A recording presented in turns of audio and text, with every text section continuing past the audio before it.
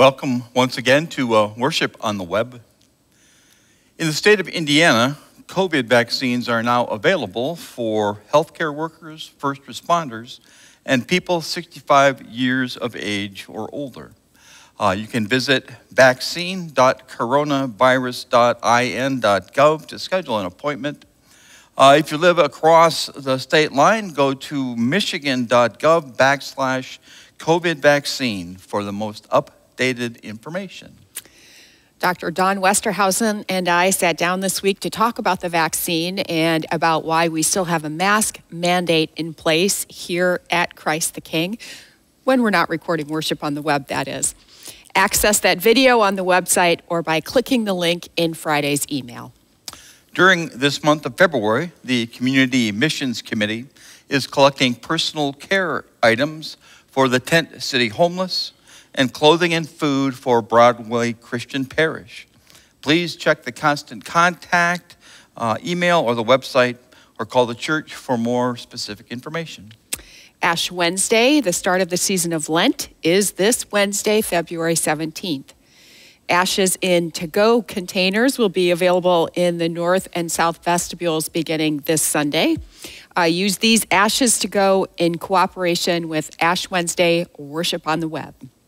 If you would like to receive ashes on your forehead from a pastor, uh, drive up to the Cleveland Road entrance on Wednesday, the 17th, between 12 and 1 p.m., uh, or at 6 to 7 p.m. Uh, stay in your car in that circle drive, uh, and one of us will come and uh, put the mark of the ash on your forehead. We have other Lenten resources available. If you're an adult, add meaning to your Lenten journey by picking up a devotional booklet called A Story to Tell. If you are young or young at heart, pick up a barn bank. The Sunday school is once again uh, collecting change to purchase farm animals through the ELCA Good Gifts program. Thanks to a cold snap in the weather, we will not be having drive in worship this Sunday, but the service will be broadcast on CTK's Facebook page Sunday at 9:30. Immediately following, Tammy Freeling will host a virtual Narthex coffee hour. As always, all are welcome. And now, centering ourselves for worship, we pause for a moment of reflection.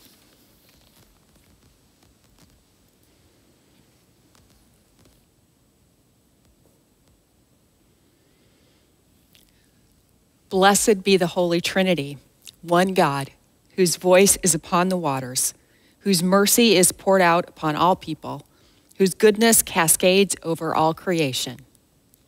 Amen. Let us confess our sin, trusting in the abundant grace of God.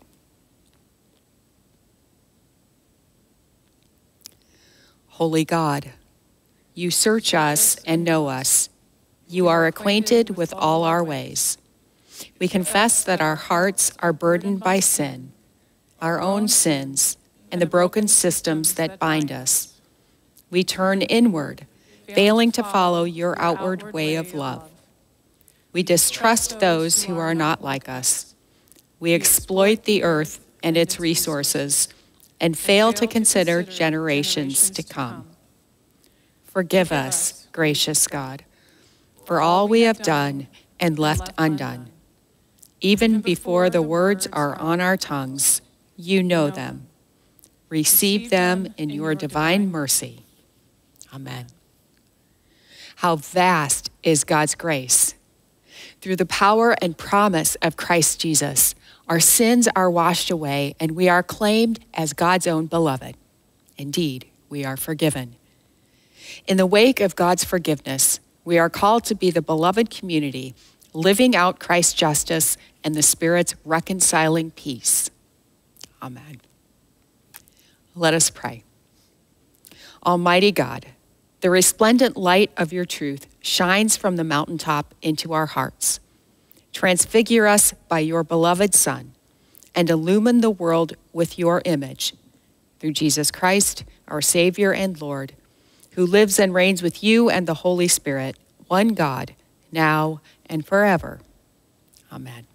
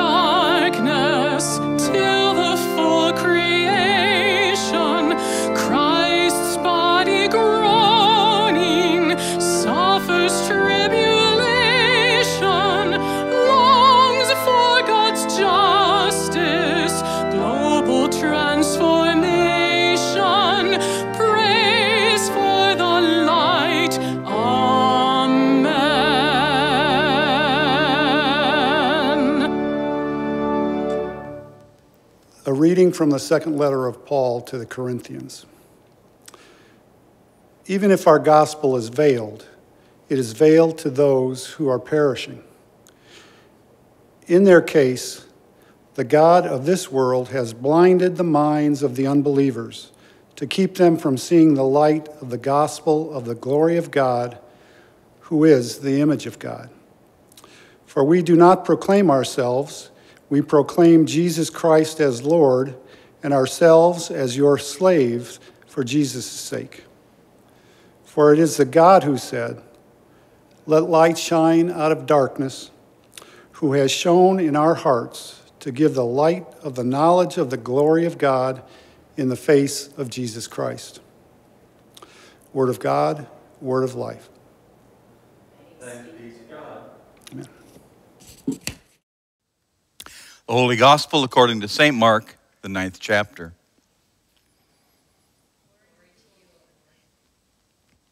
Six days later, Jesus took with him Peter and James and John and led them up a high mountain apart by themselves. And he was transfigured before them, and his clothes became dazzling white, such as no one on earth could bleach them. And there appeared to them Elijah with Moses, who were talking with Jesus. Then Peter said to Jesus, Rabbi, it is good for us to be here. Let us make three dwellings one for you, one for Moses, and one for Elijah. He did not know what to say, for they were terrified. Then a cloud overshadowed them, and from the cloud there came a voice This is my son, the beloved. Listen to him. Suddenly, when they looked around, they saw no one with them anymore, but only Jesus. As they were coming down the mountain, Jesus ordered them to tell no one about what they had seen until after the Son of Man had risen from the dead. The Gospel of our Lord.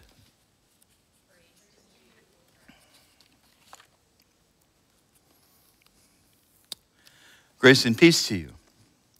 Today, Sunday, February 14th, celebrated as Valentine's Day, also marks the end of the liturgical church season of Epiphany. This final Sunday after the Epiphany concludes the same way every year with the celebration known as the Feast Day of the Transfiguration. It's, the, it's celebrating the story of, of Jesus leading three of his disciples, Peter, James, and John, up this mountain. And, and while there, Jesus is transfigured. Two prophets of old show up, Moses and Elijah. They engage Jesus in, in, in conversation. Peter, recognizing that something big had just happened, but he really doesn't know at all what that big thing is yet, he's rattled, he's shaken. He's rattled by the dazzling white appearance of Jesus' clothes. He, he, is, he, he, he is bewildered by the presence of Moses and Elijah. And then he gets all hot to trot to, to pitch some tents and settle in on their spectacular camping adventure. And so Peter cries out to Jesus, It's so good to be here. And as that is happening, this, this meteorologic miracle of sorts, this, this cloud develops and overshadows all of them on the summit. Then a voice from the cloud. This is my son, the beloved. Listen to him. uninterested in, in, in, in camping, Jesus leads Peter, James, and John back down the mountain. And all the while they're walking, he says this Listen, fellas, let's, let's just keep what we just all experienced up there on the mountain. Let's just make that a thing between us. Let's not let everybody know what happened just yet. It's just going to be our thing. That's the story we celebrate this morning. Now, ask any preacher her or his favorite feast day Sunday to preach on, And, and I don't think that I'm going out on a limb here, but I'd wager that the feast day of the Transfiguration has very few takers. I mean, even Pastor Caroline and I grumble at each other every year when we determine whose turn it is to be scheduled to preach on Transfiguration Sunday. So, yep, Sunday, February 14th, 2021. It's my turn. Now, you probably know me well enough by now to know that, that, that I, I, I'm not shy about fancying myself as being a pretty good preacher. Several years ago, the first comment a bishop of an Eastern Synod of the ELCA said to me during an interview You wrote in your rostered leader profile, and I'm going to quote you now you wrote, I am an exceptional preacher, end quote. And before the bishop could say anything else, I leaned in and I said, Why, yes, I am. So you'd think with, with, with this sort of uh, conceited ego, I'd be up for the challenge of, of, of preaching any Sunday of the church year, on any feast day, on any biblical reading appointed for the Sunday. And you'd be right, except for preaching the transfiguration of our Lord. You know, I, I'm not sure what it is, but there's, there's something about preaching the appointed gospel for the feast day of the Transfiguration that's just ridiculously laborious for me. You know, maybe it's because of all the creation imagery the story stirs up in me, or, or, or, due to the whole host of unanswered questions. Why did Jesus only take Peter, James, and John? Why did Elijah and Moses show up? And, and what are they talking with Jesus about? Why is Peter so interested in pitching tents? Why is God revealed to some, but not to others? Or, or, or, perhaps it's unpacking the, the symbolism of that, that mysterious cloud and the, the dazzling white appearance on Jesus' clothes and the voice from the cloud. Or maybe it's explaining the, the difference of being transformed and being transfigured and why knowing makes a difference. It could be any or all of that. Might it also be because the story and events of the Transfiguration just feel a bit underwhelming as a bridge or ending to a liturgical church season?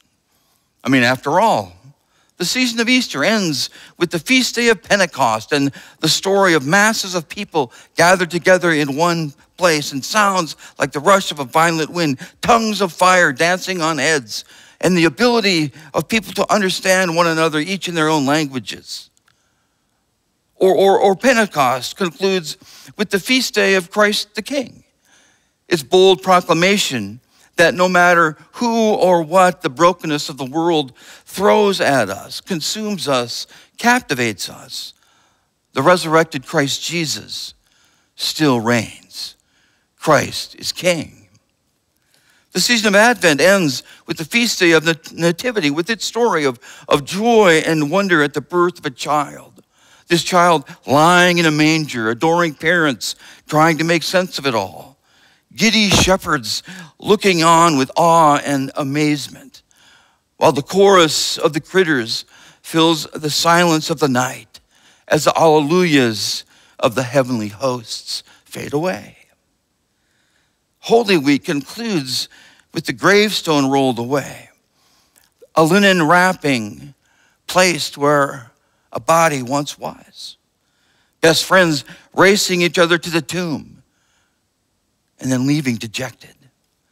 A woman pleading with the gardener, Please, sir, please, sir, if you have taken the body, tell me where you have taken him. That voice that cries out, Mary. And as she turns, she becomes the first to experience the revelation of the risen Christ Jesus. That's how you conclude a liturgical church season, don't you think?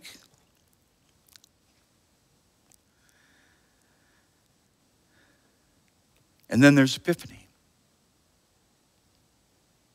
Epiphany, ushering in the season of Lent with this paranormal camping trip that's not to be talked about. It does pale in comparison. So now what? Two of my and my wife, Pastor Caroline's classmates, are, are, are now professors at Luther Seminary. That was our alma mater. One is an Old Testament scholar, the other a New Testament scholar. Together with two other colleagues, the four scholars gather each week to record Sermon Brainwave. It's, a, it's an engaging weekly conversation on the Revised Common Lectionary, the, the book from which we take all of the readings you hear on Sunday mornings. Now, it's a, it's a resource that I, I rarely use. Pre COVID, the weekly conversation was posted on the website, but only as an audio file.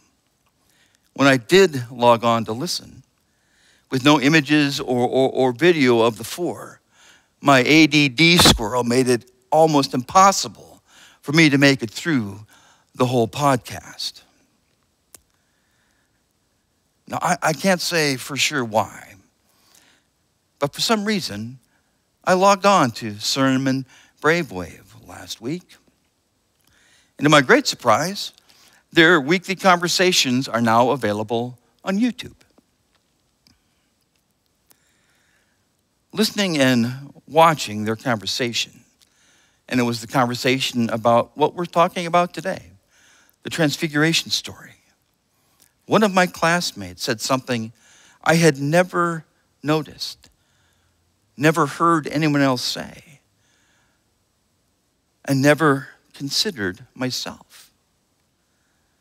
My classmate said this The season of Lent begins and ends with Jesus on a mountain. The season of Lent begins and ends with Jesus on a mountain. And just noodle that for a little bit with me. Lent begins with Jesus on Mount Tabor, 30 miles west of the Sea of Galilee. It ends with Jesus in Jerusalem at Golgotha, the place of the skull, a mount of rock and stone. Lent begins with three of Jesus' disciples, Peter, James, and John, dumbfounded and frightened by what's going on around them. It ends with only John and three women, dumbfounded and frightened, kneeling beneath the cross. Lent begins with clothes of dazzling white, such as no one on earth could bleach them. It ends with a filthy, blood-stained tunic. Lots are being cast for its possession. Lent begins with Jesus surrounded by the two prophets of old, Moses and Elijah, all three deep in conversation. It ends with Jesus surrounded by two criminals, all three sentenced to death by crucifixion. Lent begins with the voice of God proclaiming, This is my Son, the beloved. Listen to him. It ends with Jesus' anguished cry My God, my God, why have you forsaken me? Lent begins with Peter claiming, Rabbi, it's good for us to be here. It ends with the rabbi proclaiming, Truly I tell you, today you will be with me in paradise. Lent begins with Jesus pleading with his friends to, to tell no one of what they had seen and heard. It ends with a Roman bystander saying, Truly, this was the Son of God. Lent begins with the revealed God we want. It ends with the hidden God we get. The feast day of Transfiguration. I, I think I get it now. The story of the Transfiguration isn't so much a story we are to fully interpret or completely understand. It's not about ruminating on creation imagery or answering the unanswered questions or, or, or, unpacking the symbolism or explaining the difference between being transfigured and transformed and why it matters. The story of the Transfiguration is a story that's meant to be experienced. A story that takes us from Mount Tabor to Mount Golgotha. It's a story that stirs up in us the dazzling brilliance of the kingdom yet to come in the risen Christ Jesus. It's a story that emboldens us to, to journey truly as sisters and brothers in Christ, as the body of Christ in these 40 days of Lent. It prepares us. It prepares us to face our humility, our humanity, and the truth in our need for God. It is the story that assures us that whether revealed on Mount Tabor or hidden on Golgotha, God is with us. I really hope that's what it's about.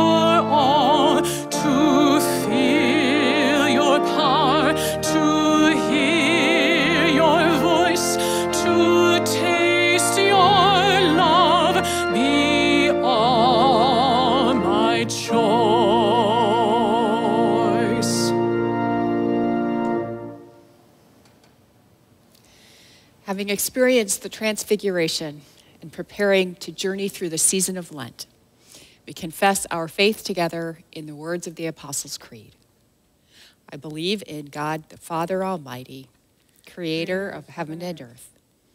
I believe in Jesus Christ, God's only Son, our Lord, who was conceived by the Holy Spirit, born of the Virgin Mary, suffered under Pontius Pilate, was crucified, died, and was buried. He descended to the dead. On the third day he rose again. He ascended into heaven. He is seated at the right hand of the Father, and he will come to judge the living and the dead. I believe in the Holy Spirit, the Holy Catholic Church, the communion of saints, the forgiveness of sins, the resurrection of the body, and the life everlasting. Amen. Guided by Christ made known to the nations, let us offer our prayers for the church, the world, and all people in need. For the gospel proclaimed in word and deed, for communities of faith far and near, and for all who show the face of Christ throughout the world, let us pray. Have mercy, O God. For creation, sun, moon, and stars, life forming in the dark earth and ocean deep, mountains, clouds, and storms, and creatures seen and unseen, and for the Holy Spirit's guidance in our stewardship of God's creation, let us pray. Have mercy, O God. For those responsible for safety and protection, for emergency responders and security guards, attorneys and advocates, civil servants, and leaders of governments, that they witness to mercy and justice throughout the world. Let us pray. Have mercy, O God. For all who suffer this day, that Christ our healer transform sickness into health, loneliness into companionship, bereavement into consolation, and suffering into peace. Let us pray. Have mercy, O God. For companions on life's journey in this worshiping community, for loved ones who cannot be with us this day, and for guidance during struggles we face, that God's glory is revealed around and among us. Let us pray.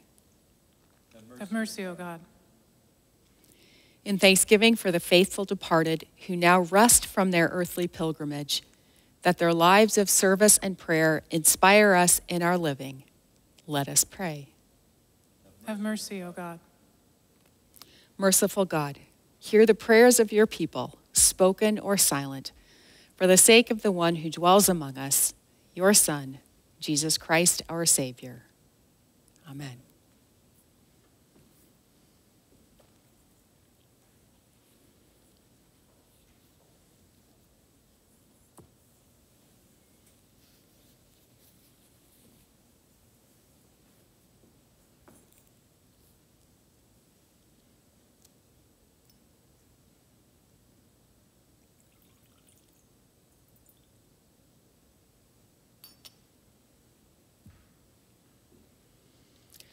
The holy table is set before us once again, and together we remember that in the night in which he was betrayed, our Lord Jesus took bread, gave thanks, broke it, and gave it to his disciples, saying, Take and eat.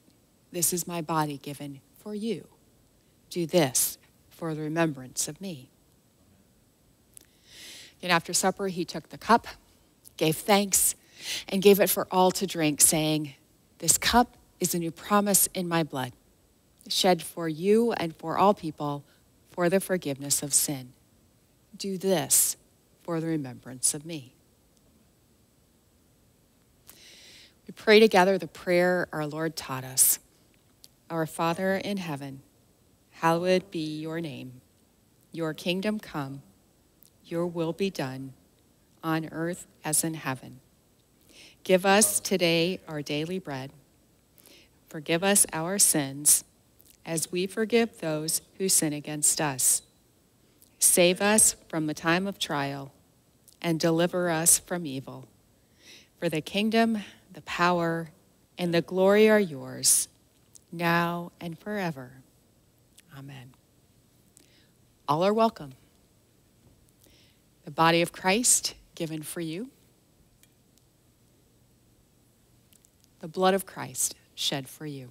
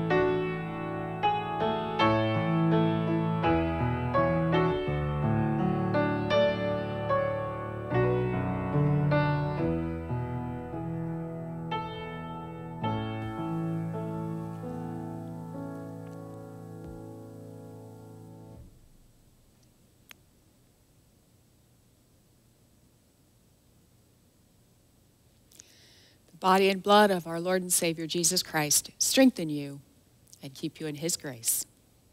Amen. We are an Easter people. And Alleluia is our song. Alleluia, Alleluia. Alleluia, Alleluia. The author of Ecclesiastes writes For everything there is a season, and a time for every matter under heaven, a time to be born and a time to die, time to plant and a time to pluck up what is planted. a time to break down and a time to build up, A time to weep and a time to laugh. a time to mourn and a time to dance. A time to keep silence and a time to speak. As a sign of our repentance, we now say farewell to the Alleluia until our rejoicing at the resurrection of our Lord. How good it is for us to be here. Amen. Alleluia.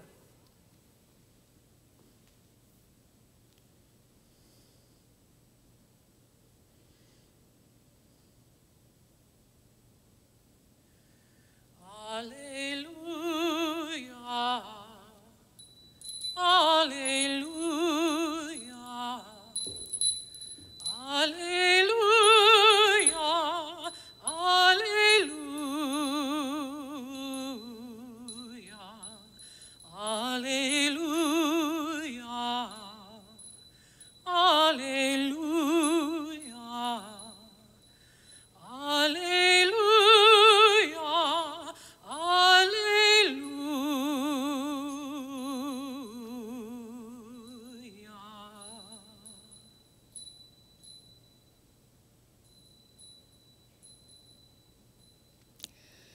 God the Creator strengthen you, Jesus the Beloved fill you, and the Holy Spirit, the Comforter, keep you in peace.